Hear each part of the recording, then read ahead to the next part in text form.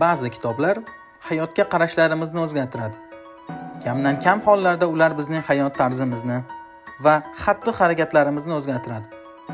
Hel Elrodning Tong sehri kitobi ikkisini ham o'z ichiga oladi va u siz tasavvur qilganingizdan ham tezroq amalga oshadi. Assalomu alaykum. bukmaniyaga xush kelibsiz. Demak, bu sonda siz uyg'onganingizdan keyingi birinchi soatni qanday qilib barakali, muvaffaqiyatli va salohiyatli qilib boshlash sirlarini bilib olasiz. Muallifning tavsiyalariga ko'ra, 10 minglab odamlar sog'liqlarini yaxshilashdi. Ko'proq pul ishlashni boshladilar. Asosiy vazifalariga e'tibor qaratishni o'rgandilar va eng muhimi, omadli bo'lishdi. Bu kitob o'z hayotini birinchi tongdanoq o'zgartirmoqchi bo'lgan har bir kishi uchun mo'ljallangan. Siz kuningizning birinchi soatini qanday o'tkazasiz? Siz undan butunlikning erta qo'ng'irog'i sababli nafratlanasiz va sizga issiq yotoqdan turib qayergadir borish kerak ekanligini yomon ko'rasizmi? Siz bu haqida bilmagandirsiz, ammo uyg'onganingizdan keyingi birinchi soatni qolgan butun kunni shakllantiradi. Biz ertalab qanday kayfiyatda uyg'onishimiz qolgan vaqtga ta'sir ko'rsatadi. Omad kelishi va bugun qanchalik muvaffaqiyatli bo'lishimiz aynan ertalabki 1 soatga bog'liq. Agar siz o'z o'zini rivojlantiradigan insonlardan bo'lsangiz, unda tongning bu kunning to'g'ri boshlanishi metodologiyasi siz uchun juda ham mos bo'ladi. Chunki bu sizga hayotingizning barcha sohalarini yaxshilash uchun yordam beradi.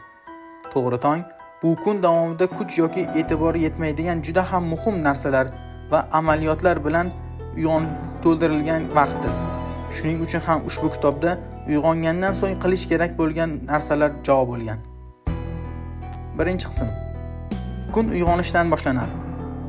Karavotdan turganda insonlar ko'pincha noto'g'ri oyoq bilan turadilar. Aynan shu yangi kunning qolgan qismini buzadi. Tong sehr bilan to'lishi uchun to'g'ri uyg'onishni o'rganish lozim. Uyg'onish bu butun kun boshlanadigan nuqtadir. Shuning uchun kuningizning ushbu bir necha daqiqasini maxsus e'tibor qaratishingiz lozim. Dastlab eng uzoqdan boshlash kerak. Ya'ni o'tgan kechadan. Uxlashdan oldin siz kelajakka kuningiz uchun o'z istak va maqsadlaringizni rejalashtirishingiz lozim. Sizning ushbu tongdan kutadigan tuyg'ularingiz ijobiy bo'lishi kerak. Ertalab kuch va energiya bilan uyg'onishga tayyor bo'lishingiz lozim. O'z miyangizda bitta oddiy qoidaga ildiz soling. Siz uyquga qanday fikr bilan ketsangiz, shunday fikr bilan ertalab uyg'onasiz. Agar sizning oxirgi fikringiz ertangi kun qanchalik ajoyib bo'lishi haqida bo'lsa, unda bu shubhasiz ro'yobga chiqadi. Ikkinchidan, budunlikni karavotingizdan maksimal ravishda uzoqqa qo'ying. Chunki shunda siz uni o'chirish uchun turishingiz kerak bo'ladi. Demak, siz aniq uyg'onasiz. Uchinchidan, gigiyenaga amal qilish. Tishlaringizni tozalang va iliq suv bilan yuving.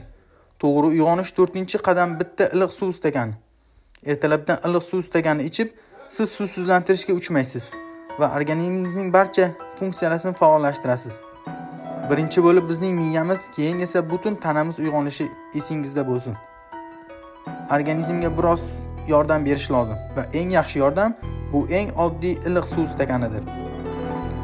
Hayotingizdan eng yaxshi tongni 5 va oxirgi qadami darhol sport kiyimini kiyishdir.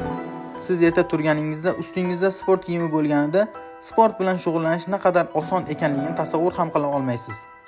Harakatga motivatsiya darhol o'sib boradi. Ajoyib tong ketma-ketlik bilan bajarishi lozim bo'lgan 6 ta amaliyotdan iborat. Ularning har biri maqsadingizga erishish uchun sizni energiya bilan to'ldiradi.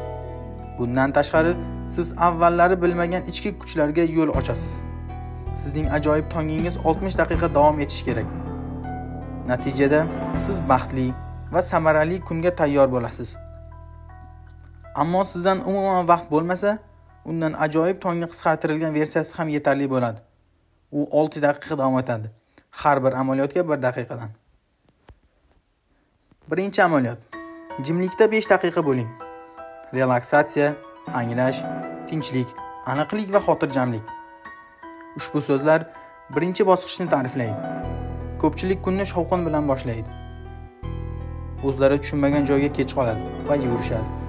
Bunday insonlar stressni his qilishadi bizning vazifamiz esa bizning hayotimizni buzadigan stresslardan ozod bo'lishdir birinchi amaliyotni qilganingizda meditatsiyadan foydalanishingiz mumkin chuqur nafas olish fikrlaringizni tozalash ibodat qilish yoki hayotingizga baxt olib kelgan hodisa va insonlarga minnatdorchilik bildirish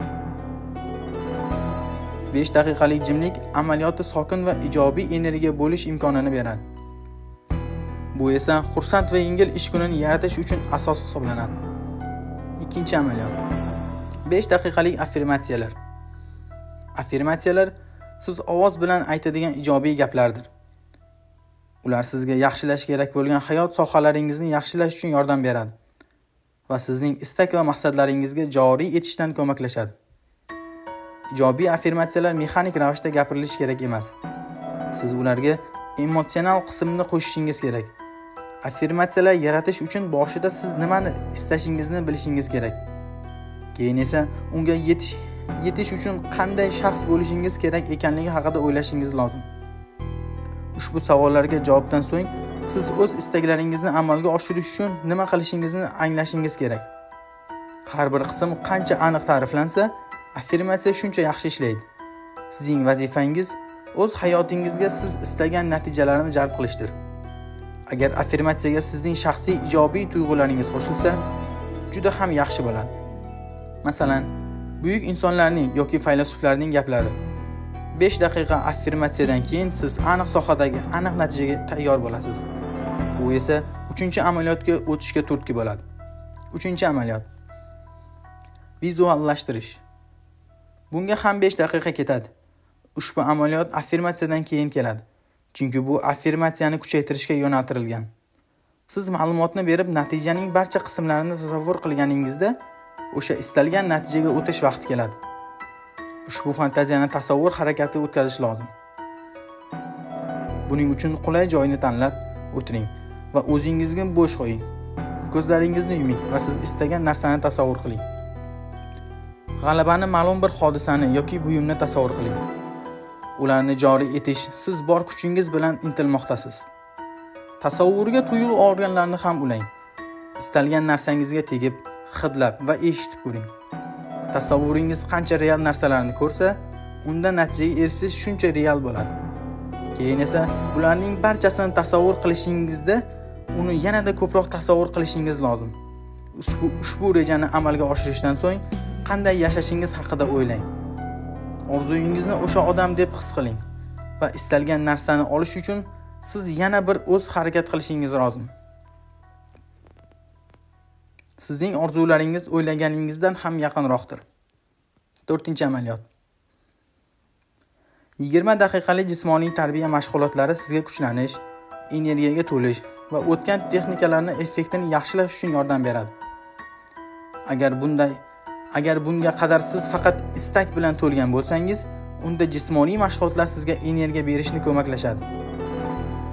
Kuch mashg'ulotlari kardio mashg'ulotlari yoki yoga xullas sport bilan bog'liq va sizga xursandchilik olib keladigan barcha narsalar bunda samarali bo'la oladi. Beshinchi amaliyot.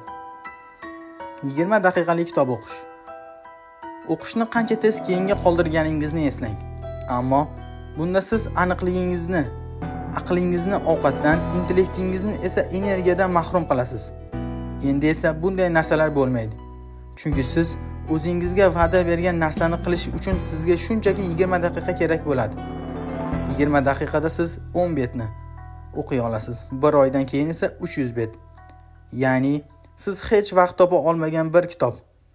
Bu sizning sevimli yozuvchingizning yangi romani mashhur fan adabiyoti yoki rivojlanish uchun kitoblar bo'lishi mumkin. Ya'ni sizga yoqqan yozilgan har qanday narsa. Oltinchi amaliyot. Kundalik daftarini yuritish uchun 5 daqiqa. Miyangizni o'qish bilan faollashtirib uni tozalash va sozlash kerak.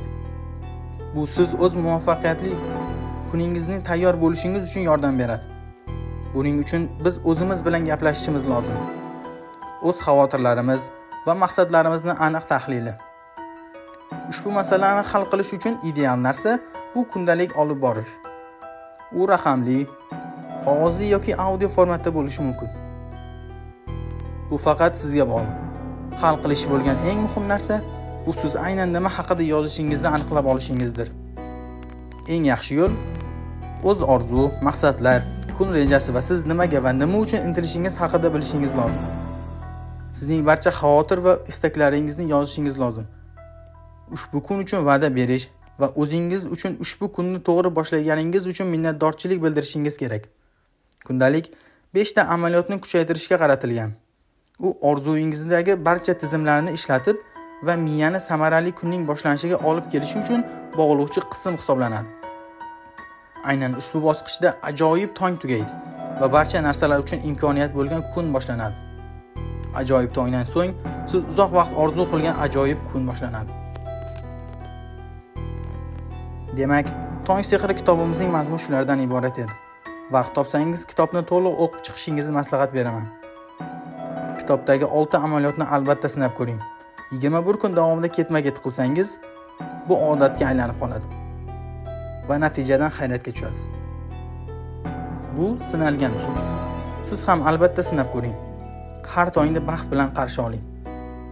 O'zingizni ehtiyot qiling. Keyingi videolarimizda ko'rishguncha xayr sog' omon bo'ling. Videoga layk bosishni va obuna bo'lishni unutmang. Yoqgan bo'lsa do'stlaringizga ham ulashing. Videoni ko'rishda faollik ko'rsatgan va kitobdan olgan xulosasini eng chiroyli talqin etgan bir obunachimga shu kitobni sovg'a qilaman. Aqlingizni charxlang.